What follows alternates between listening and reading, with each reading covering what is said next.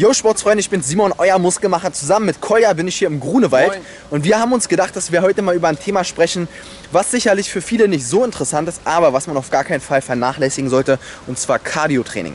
Was ist sinnvoll und welche Funktion hat Cardiotraining? Ich habe mir gedacht, bevor ich einfach mal von mir erzähle, frage ich einfach mal, wie es jemand anders macht, der den Sport auch schon sehr lange betreibt, und zwar den Kolja. Aktuell dreimal die Woche und ansonsten teilweise sogar ein bisschen mehr.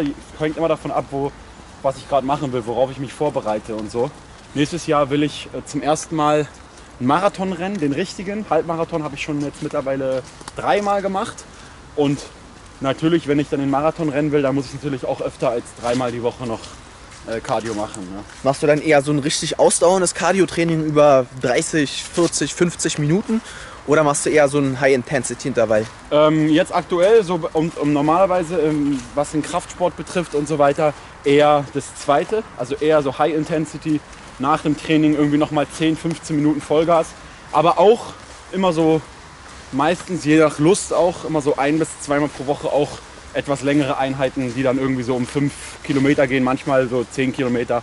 Und da habe ich auch immer eine, eine richtig gute Progression mit drin, nämlich mit dem Kinderwagen halt.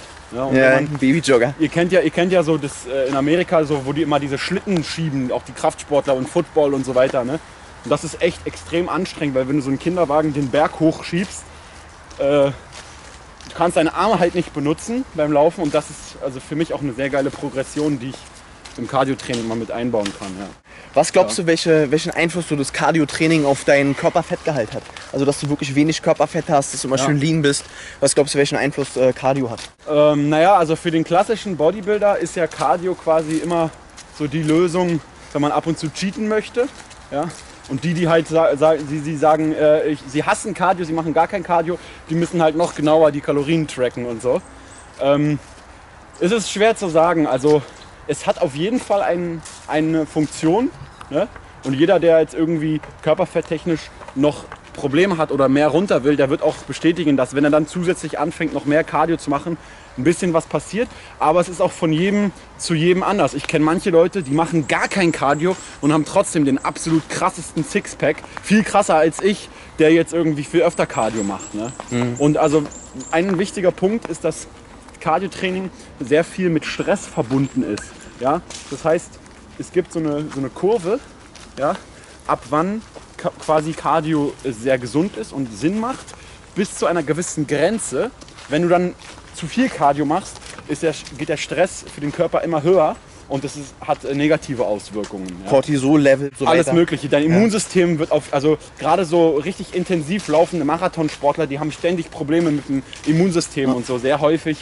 Ähm, und äh, ja, aber wenn du halt durch Laufen oder Cardiotraining Stress abbaust, dann kannst du durch diesen Stressabbau auch besser schlafen und so weiter und du, du baust auch dadurch indirekt besser Fett ab. Ja? Aber es hängt also immer so ein bisschen davon ab, stresst dich Cardio oder baust du dadurch Stress ab? Ja? Wenn du dadurch Stress abbaust, dann hilft es dir auch beim Fettabbau. Ne? Ja, du hast es ja schon angesprochen. Für mich ist Cardio zum Beispiel auch eine richtig gute Sache, um einfach mal wieder einen Cheat auszubalancieren. Ja. Also wenn ich mir an einem Tag ähm, Wobei mehr du ja nicht so Kalorien... krass cheatest eigentlich. ja, oder? es geht so. Das sind bei mir halt so diese einzelnen Dinge und sind bei mir eher so diese gesunden Sachen, die bei mir im Übermaß vorkommen. Also ich bin Ja. wirklich eine, eine richtige Fressmaschine. Ich habe gar kein Problem damit, meine dreieinhalbtausend Kilokalorien zu essen. Okay. Und alles unter 3000 fällt mir wirklich extrem schwer. Ja. Und wenn ich zum Beispiel sage, jetzt aktuell bin ich in einer Phase, wo ich mit 3000 Kilokalorien auskommen muss. Ja. Und dass mir das nicht immer gelingt, das ist natürlich klar.